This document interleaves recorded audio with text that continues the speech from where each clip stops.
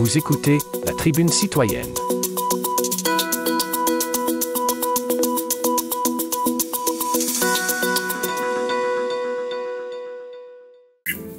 Alors bonjour Gaëtan, comment vas-tu? Bonjour Marc, ça va très bien, merci toi-même? Très très bien, merci. Alors on va, bah, on essaye de pas forcément tout le temps vouloir parler de la même chose, mais des fois c'est difficile quand il y a un sujet qui revient beaucoup déjà dans les médias.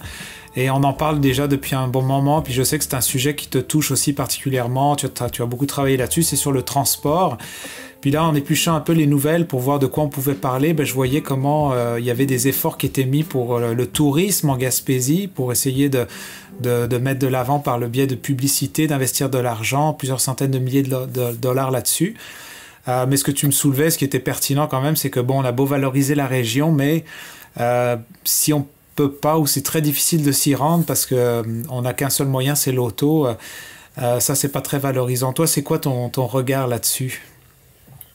Ben, c'est bien qu'on investit dans la promotion touristique, puis on vise de plus en plus un tourisme à l'année, notamment un tourisme hivernal, hein, entre autres dans le secteur de la Haute-Gaspésie, où il y a un potentiel incroyable au niveau du tourisme hivernal, même de niveau international, avec les chic-chocs.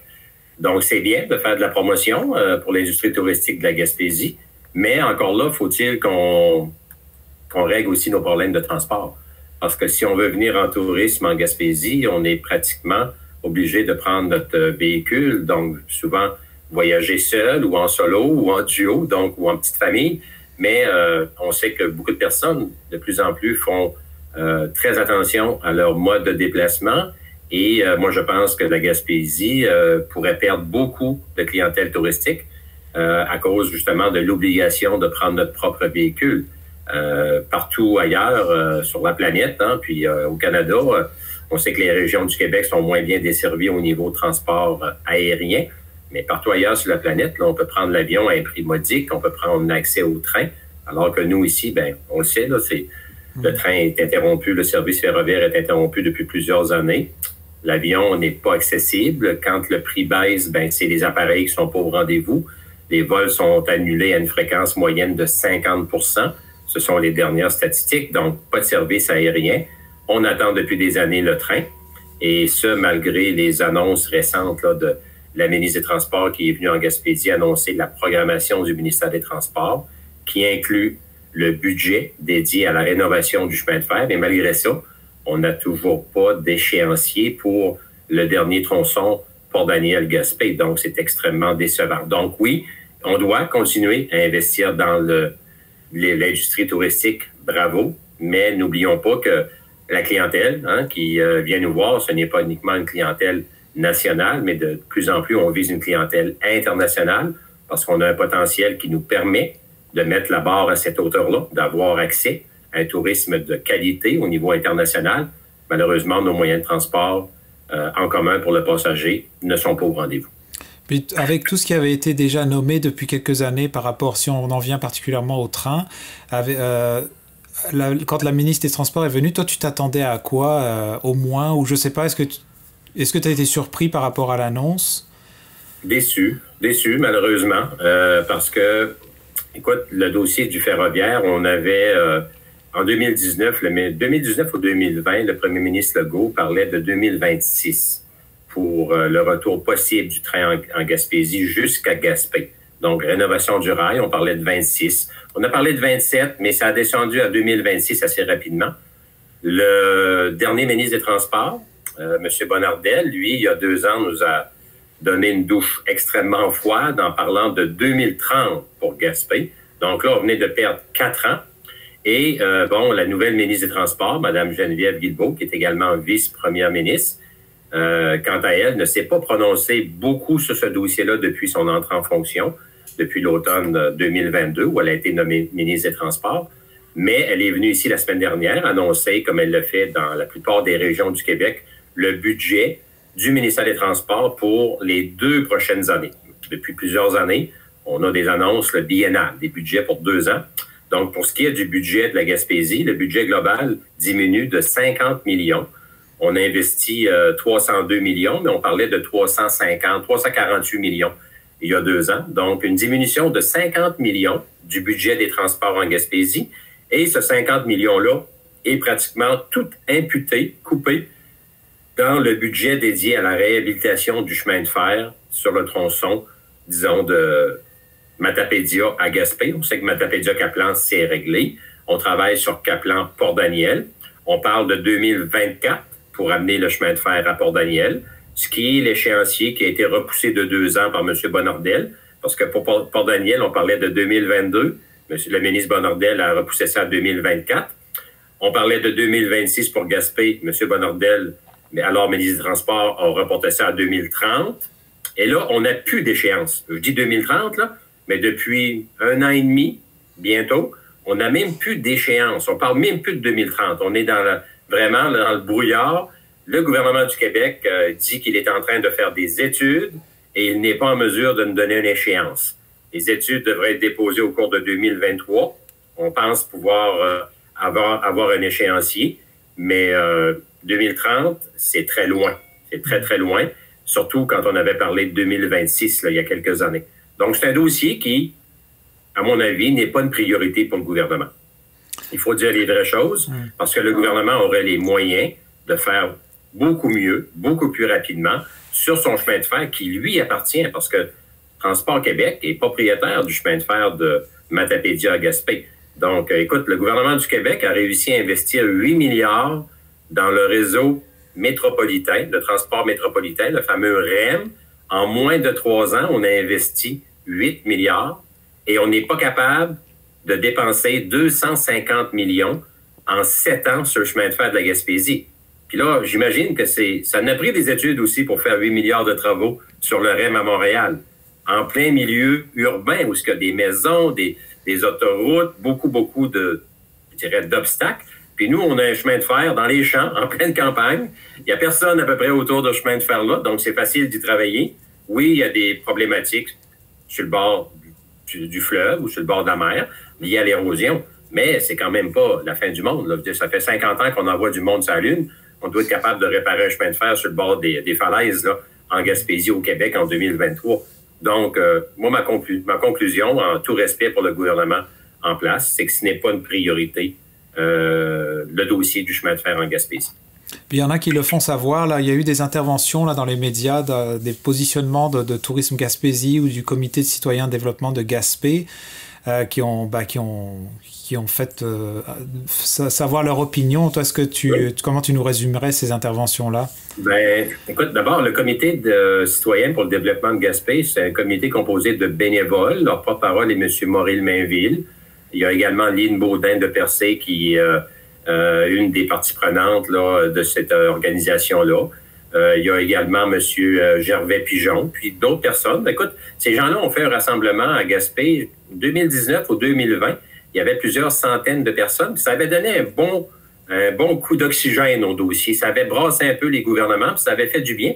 Assez que c'est là que M. Legault était, avait reçu nos préfets à Québec, puis il engagé là, pour le chemin de fer 2026 à Gaspé, suite à ces moyens de pression-là que ce comité-là a fait. Donc, c'est un comité qui n'est pas ses premières euh, implications dans des développements de transport. Il s'est également euh, penché sur le transport aérien au cours de l'hiver.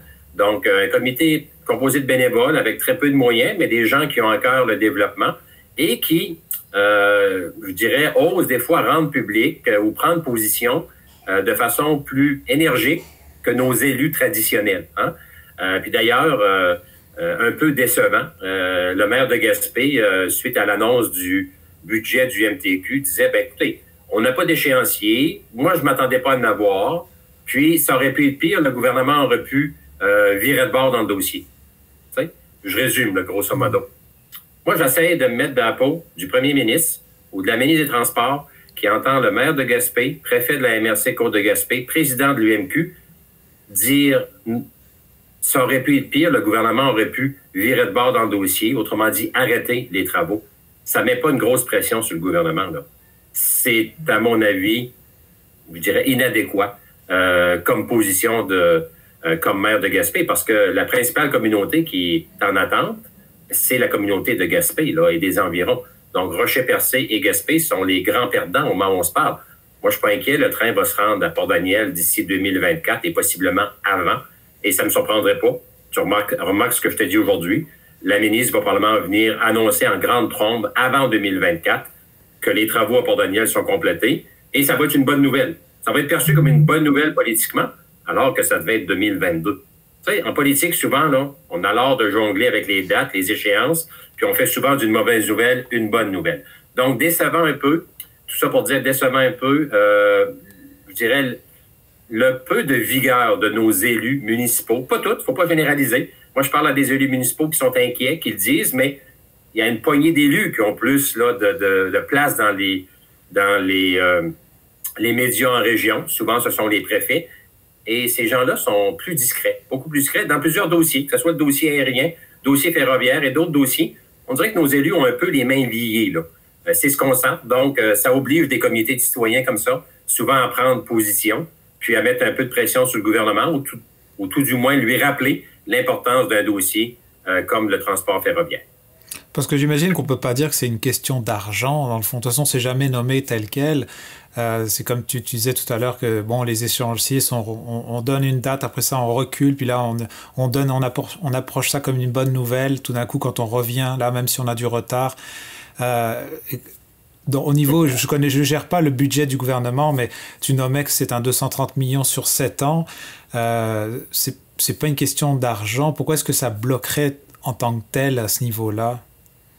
C'est pas une question d'argent, c'est clair, Marc. Euh, c'est mineur. Là. 230 millions pour euh, un chemin de fer sur des centaines de kilomètres, c'est rien. Donc, moi, je pense que c'est pas un dossier qui est jugé prioritaire par les gouvernements. Et on met beaucoup d'énergie dans les dossiers de transport euh, dans les grands centres. Hein. Dans les dernières années, on a refait bon euh, le pont Champlain, on s'attaque au REM à Montréal, on parle beaucoup du troisième lien à Québec. Donc ça, c'est des projets à coût de milliards. c'est sûr que l'expertise, on est en pénurie d'expertise et d'entrepreneurs partout au Québec et même au-delà du Québec. Donc, euh, est-ce que les entrepreneurs préfèrent euh, soumissionner sur un projet de 7 milliards à Montréal plutôt qu'un projet de 150 millions en Gaspésie? Probablement que oui. Est-ce que les firmes d'ingénieurs qui font les études vont d'abord euh, s'attaquer aux méga projets euh, où ça va être beaucoup plus payant pour eux qu'un petit projet de 150 millions versus un de 8 milliards à Montréal? Probablement que ça fait partie aussi de la réponse, mais il reste que le gouvernement est le maître d'œuvre. C'est le gouvernement qui est le principal bailleur de fonds dans l'ensemble de tous les dossiers qu'on a nommés. Et quand un gouvernement décide de faire d'un dossier une priorité et de dire aux entrepreneurs, d'envoyer des messages clairs aux entrepreneurs, aux firmes d'ingénieurs, à l'effet que ce dossier-là est prioritaire, ben, je pense qu'il y a des façons de passer le message. Mais euh, moi, je pense que ça commence d'abord par une volonté ferme et pour des raisons qui appartiennent au gouvernement actuel. Euh, cette volonté-là n'est pas au rendez-vous si on compare les délais euh, du dossier du chemin de fer en Gaspésie, tout comme d'ailleurs le dossier du transport aérien versus d'autres dossiers, notamment de transport dans les grands centres. Puis, euh, c'est important, je tiens à le mentionner, les, nos grands centres urbains, que ce soit Montréal, que ce soit Québec et d'autres villes, ont d'énormes problématiques également au niveau du transport, euh, multiples problématiques, et il faut que les gouvernements les accompagnent, il faut que les gouvernements règlent ces problématiques-là de transport en milieu urbain, mais il faut également que le gouvernement soit équitable et s'occupe euh, des régions, notamment de nos priorités ici en Gaspésie. Et on ne sent pas que la même priorité est apportée du côté gouvernemental. Puis on parle beaucoup de Québec, mais on pourrait questionner également qu'est-ce que le gouvernement fédéral fait également pour aider le transport en région. Parce qu'on sait que le gouvernement fédéral a investi 40 millions dans le dossier du chemin de fer il y a quelques années sur les 150 millions. Et euh, on entendait la ministre euh, régionale, Mme Leboussili, il y a quelques semaines, dire bonne chance à ceux qui croient que le train va se rendre à Gaspé un jour. C'est un peu contradictoire. Si elle n'y croit pas, pourquoi avoir investi 40 quelques millions il y a quelques années? Est-ce que c'est pour se rendre strictement à Port-Daniel? Euh, moi, j'aimerais qu'elle soit claire par rapport à ça, préciser sa pensée, euh, parce que c'est le fédéral pourrait aussi être plus actif dans les dossiers de transport. Il l'a déjà été, mais le fédéral s'est retiré a beaucoup, beaucoup délesté de responsabilités aux provinces et les provinces, à leur tour, en délaissent vers les MRC, les municipalités. Donc, le fédéral est de moins en moins présent dans nos enjeux de transport, malheureusement. Et euh, pourtant, il y a été un temps où il était beaucoup plus présent. Et euh, je pense que c'était beaucoup mieux quand les deux paliers principaux là, financent ces projets. En tout cas, ça, sera sûrement peut-être plus facile de se rendre en Gaspésie en bateau de croisière parce que je voyais comme quoi les croisières reviennent en force de mai à octobre pour, euh, dans, dans, le secteur de Gaspé euh, euh, pour la saison touristique en tout cas.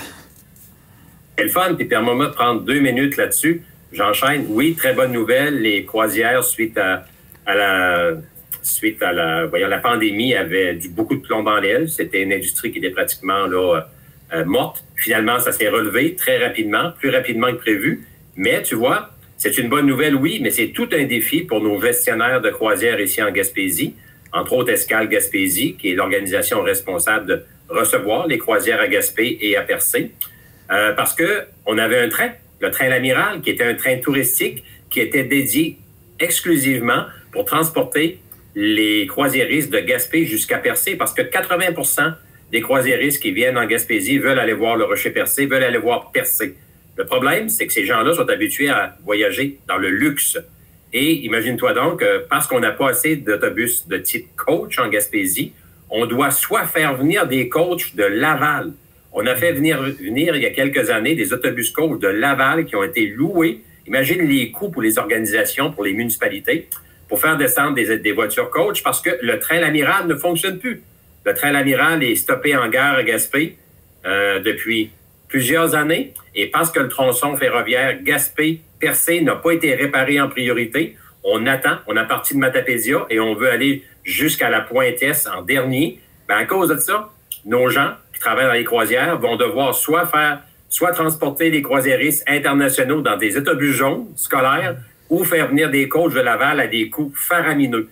Donc ça aussi, c'est une des revendication que la région devrait mettre de l'avant auprès du gouvernement de réhabiliter en priorité le tronçon Gaspé-Percé pour justement remettre le, train touristique L'Amiral en opération et permettre là, de faciliter le travail des intervenants du domaine des croisières internationales. Et aussi, ce train-là servait au passage, au, au, tourisme, aux touristes réguliers, parce que c'est une très belle activité touristique de visiter entre Gaspé et Percé sur le bord des falaises tout le long de, euh, de la mer. C'est super intéressant. Donc, ça, c'était un bel attrait touristique qu'on a perdu, qui complique la vie à tout le monde, notamment parce que le chemin de fer n'est pas réhabilité. Hmm.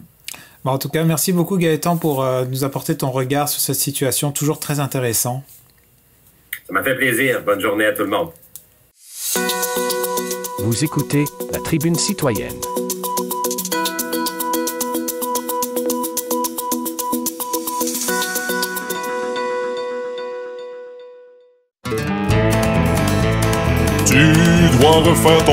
Chez Nado Matériaux de construction Home Hardware de Newport et de Lansab Office, le service de qualité au meilleur prix, c'est ce qui fait toute la différence. Notre équipe sur place saura vous conseiller pour l'aménagement de votre salle de bain, votre cuisine ou tout autre projet de peinture ou de rénovation. Venez en magasin découvrir notre vaste gamme de couvre-planchers, nos portes et fenêtres de qualité et des outils tant pour le bricoleur que pour l'entrepreneur en construction. Savoir-faire, Nado Matériaux de construction Home Hardware de Newport et de Office, les spécialistes de la rénovation dans la région.